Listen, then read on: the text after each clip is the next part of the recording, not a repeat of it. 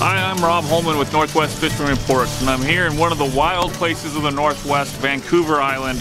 We've been fishing all day with Adrian O'Connor of Reel Obsession. How you doing today, guys? Uh, I asked Adrian to give us a quick demo on how to properly clean and fillet a halibut. Sure. Yeah, I think we've probably done a couple over the years. Okay. Uh, it's, you know, season number 16, so yeah, there's definitely a few halibut under our belt. So You don't Well, mind uh, giving our, our guys uh, a little bit of a couple tips here, huh? no, definitely not. We'll go at it. It's actually I, I find it one of the easiest fish to fillet, given you know there's actually no bones that are going to be in your uh, in your fillet. Right. So first of all, I like to take my fish, scrape any of that slime off its uh, that's been on it. That way we get a nice clean fillet. I'm gonna kind of turn that fish a little bit towards me. With these bigger fish, we're not gonna take the belly meat. So our first incision is gonna come behind the head and just around that belly cavity. You can easily see it and feel it. There's actually a line on these. They give you a little bit of directions. You're just gonna oh, yeah. it, it kind of ends here and curves up, but you're just gonna follow it straight up, all the way down. Come across that fish again. Mm-hmm. And then we're just making strokes right along that bone there.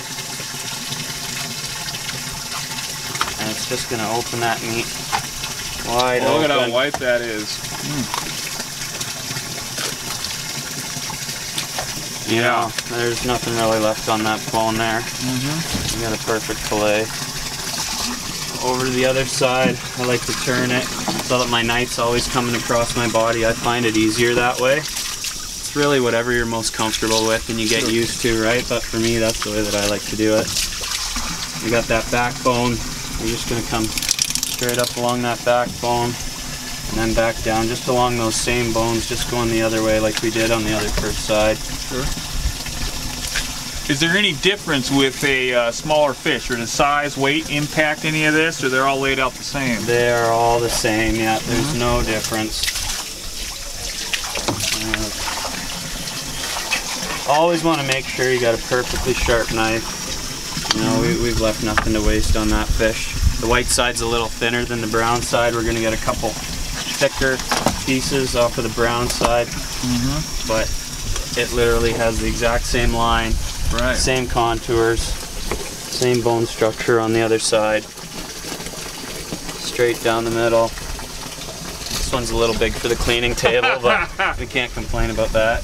Just coming right on the angle. You can see the angle on those bones come come from the, the front to the back. Sure. That's kind of just the direction that I bring my knife along it. Gotcha.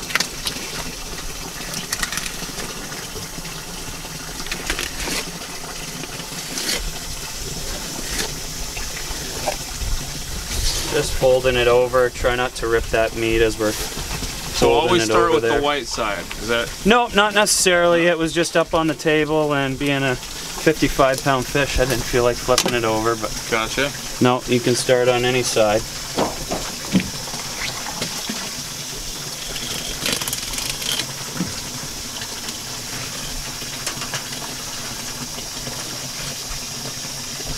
I use quite a big knife. A lot of guys aren't comfortable using that. You know, you can use any fillet knife. It's got a good edge on it that you're comfortable using.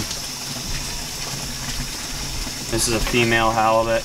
Pink gonads, they call them. On a mm-hmm. male, this will be a grayish green. Hmm. I could probably show you that on a smaller fish, but the pink is the female. Pretty much all the big fish, anything 35, 40 pounds plus is typically a female. Mm-hmm. Yeah. Hmm. Um, and being a fish of this size, we can definitely take a cheek off of it. Oh, I've heard of that. Halibut cheeks. I've heard of those once or twice. You can kind of feel When can you start taking their cheeks, Adrian? You can literally do it off a small one. You know, mm-hmm. people take walleye cheeks and they're four or five Right. pound fish, right? So pop them out. you just feel it, feel where that bone is on the edge. Get your knife in there, and just work the tip around it. Come back the other way, all the way around. It's just gonna make a a nice oval circle kind of shape. And, you know, a couple of them's not a bad dinner for one. You know, Oh. the flavor's very similar to the halibut meat, but it's got a really nice texture, kind of like crab. I'll actually come back over and get that white one out. The white one's actually a little bit bigger, like the brown side's got fatter meat Ah. as far as the meat, but the white side cheek, I'm guessing it's because the eyes are on the brown side, right? So Right. You get a Gotta little make bit, room. you get a little bit more for the right side.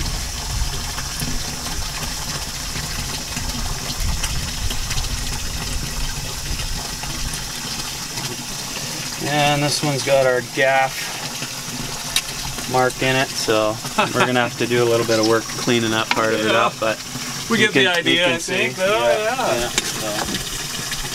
Right on. And that one's going down to the crabs and starfish. If we wanted to make some soup or anything, you know, it makes a great soup, but uh, Sure. for right now we got lots of that, so We'll be good. we're gonna We'll feed the crabs. Adrian, thanks so much for uh, showing us how to get that done. And uh, again, it was a pleasure catching these with you. Yeah, anytime, slimy high five for your Yeah.